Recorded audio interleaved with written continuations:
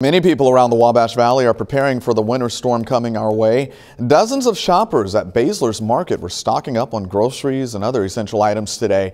Customers bought items such as milk, water, toilet paper, and shovels. Employees say there's been a major increase in customers coming in over the past few days. They say customers are getting shopping out of the way before the storm hits. One customer says she was shopping to have enough food to last her family a few days.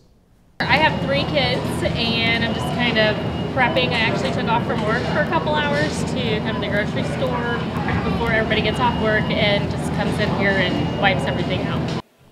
Customers are encouraged to shop for items sooner rather than later so what they need is still in stock.